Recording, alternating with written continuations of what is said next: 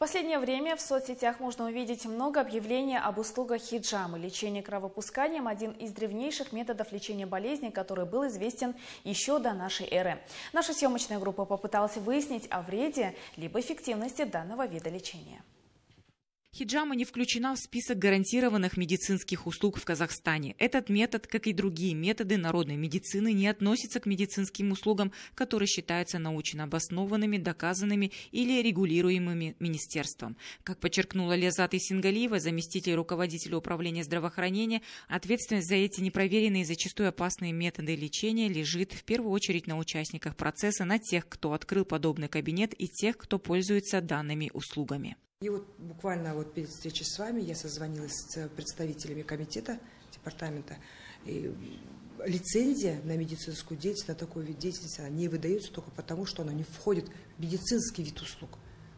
И этот вопрос, вот именно вот эти вот вопросы и обсуждались на таком совещании с участием вице-министра Республики Казахстан, что о нетерпимости медицинских работников к данным процедурам, к детям, потому что могут возникнуть различного рода осложнения, не, э, возникнуть нагноение, возможно, если не та вена, пойдет сильное кровотечение, смогут ли оказать вовремя помощь. Это может быть заражение какой-нибудь инфекции.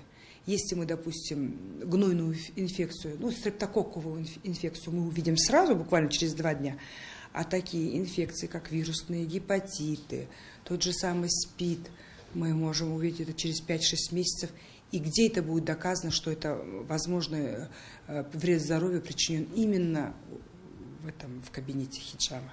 А что думает о хиджаме простой народ? А жоқ хиджамаға мен я не хожу, я считаю лучше заниматься спортом, чем прибегать к хиджаме. Я не верю и никогда не пойду. Я ходила только один раз, но мне не понравилось. Хиджама, лечение которое в большей степени имеет религиозный аспект, в чем предки наши видели пользу хиджамы и в чем его опасность, об этом мы поинтересовались у имама. Хиджама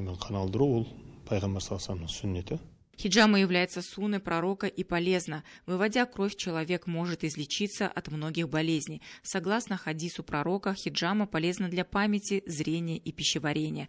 В хадисе пророка сказано, что делать хиджаму необходимо 17, 19 и 21 числа каждого месяца. Сейчас много центров хиджамы. Некоторые люди до конца не знают, что должен быть сертификат, поэтому лучше обратиться к специалисту. Хиджама представляет собой очень простой и эффективный способ избавления от многих болезней посредством выведения из организма грязной крови. Такие рассуждения можно прочитать в социальных сетях. И многие люди выбирают именно этот способ как панацею от всех недугов, пренебрегая длительным лечением у квалифицированных врачей. Каждый, кто решился на эту процедуру, должен четко понимать, что никто не может гарантировать, какими могут быть последствия. И помнить, эффективность и безопасность нетрадиционной медицины – научно не доказано. Жанна Руслан, Бауржан Яскул, Саламат Каипов, Дидар.